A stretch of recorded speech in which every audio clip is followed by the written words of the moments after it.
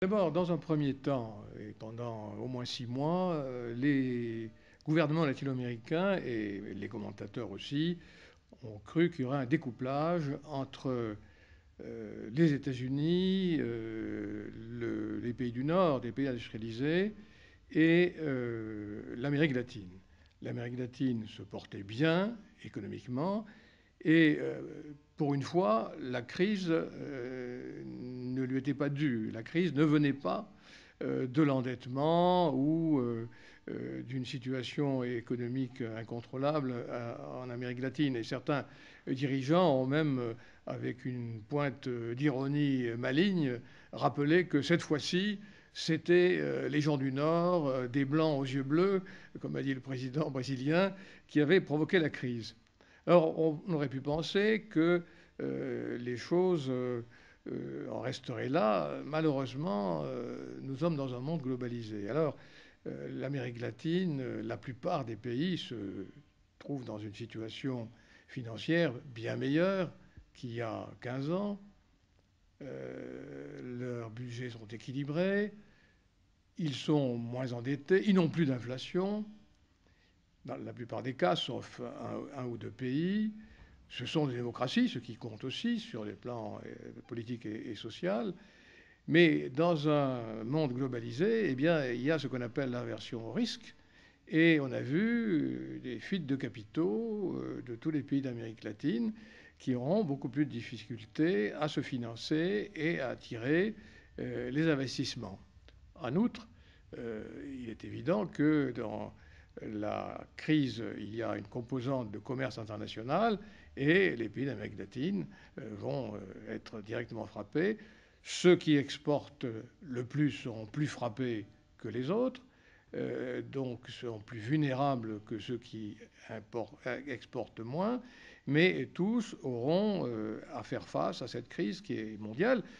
Ceci étant dit, ils s'en tireront dans bien des cas mieux que les pays européens et que certains pays européens. Pourquoi? Euh, D'abord parce que euh, s'il est vrai que l'Amérique latine a connu des problèmes de dette extérieure, les problèmes euh, de l'endettement des particuliers, des prêts hypothécaires, des actifs toxiques touchent à peine l'Amérique latine parce qu'il y a peu de crédits intérieurs. On a souvent remarqué que la bancarisation, c'est-à-dire l'usage de la banque par euh, les latino-américains était relativement faible dans, les grands pays et que ce qui paraissait euh, un inconvénient pour euh, le développement économique paraît aujourd'hui un véritable, un véritable avantage.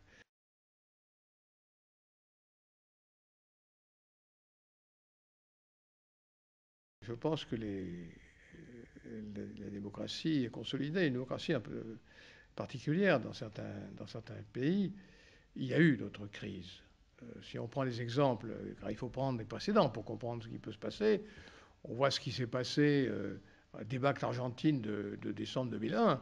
Bon, euh, la démocratie a peut-être souffert puisque le président a démissionné, puisqu'il y a eu une agitation diverses et variées. Et finalement, on a trouvé une solution constitutionnelle. Dans le cadre constitutionnel, le, président a démissionné, il n'y avait pas de vice-président, c'est la situation la pire, mais euh, le Congrès a euh, nommé un président qui a fait l'intérim jusqu'aux prochaines, élections. Donc il y a quand même, euh, d'une part, une consolidation institutionnelle, d'autre part, un attachement à la démocratie des citoyens et la volonté d'avoir une situation normale, une situation qui corresponde et à la Constitution et à la culture euh, nationale. Évidemment, il y aura des remous, évidemment, il y aura euh, des, situations difficiles. On ne sait pas ce qui va se passer dans les 14 élections qui auront lieu euh, dans les deux ans qui viennent. Il peut y avoir des, surprises, ou des bonnes ou des mauvaises, mais il est évident qu'il y aura de l'agitation sociale, il y aura des mobilisations, et il y aura des remises en cause euh, euh, de la démocratie telle qu'elle fonctionne. Mais ces remises en cause existent déjà. Alors ça, évidemment, ça risque de, grossir. Euh, je ne crois pas que ça puisse remettre en question cette longue phase de démocratisation qui remonte aux années 80. La démocratie un quart de siècle, et c'est la première fois en Amérique latine qu'il y a autant de démocratie pendant si longtemps et de manière aussi stable, alors même qu'il y a eu des crises qui ont été surmontées.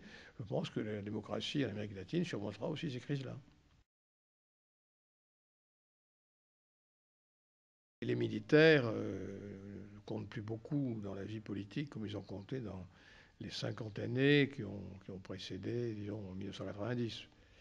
Euh, il y a eu une démilitarisation de l'ensemble du continent, à tel point que les putschistes eux-mêmes euh, sont devenus candidats aux élections. Hein.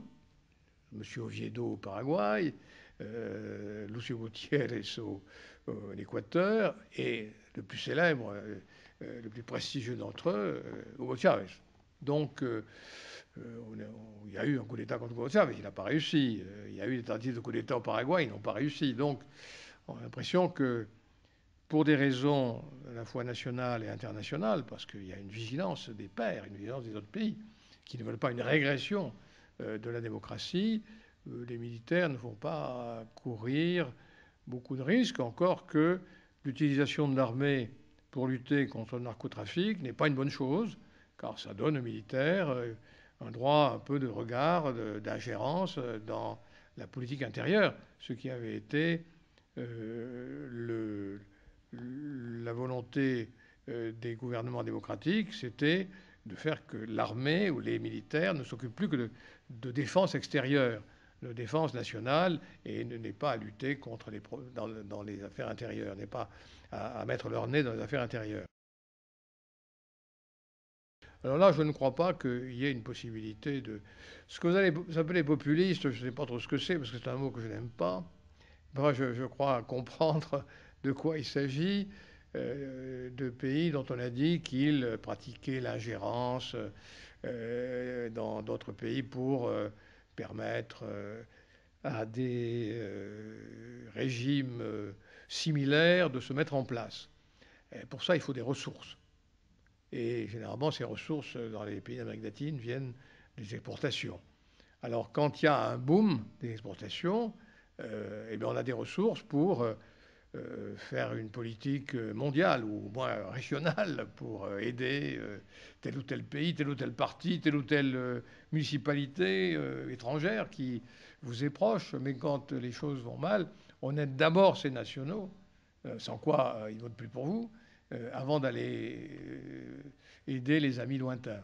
Donc là non plus, je ne crois pas que justement la crise devrait euh, limiter euh, ce genre de pratique. Je crois qu'il y aura, face à la crise, on ne le voit pas encore, ni en Europe, ni en Amérique latine, une, euh, pas une renaissance, mais une nouvelle impulsion qui sera donnée aux intégrations régionales. Il n'y a pas de salut au niveau national. Il n'y a pas de possibilité, parce que c'est trop euh, gros et diffus au, niveau des réunions euh, mondiales, type G20. G20, on donne des orientations, mais c'est au niveau régional. Et, là, il y a une opportunité et il y a même une nécessité de relance, euh, des intégrations, de relance de ce niveau régional qui, face à la globalisation, paraissait archaïque et dépassé.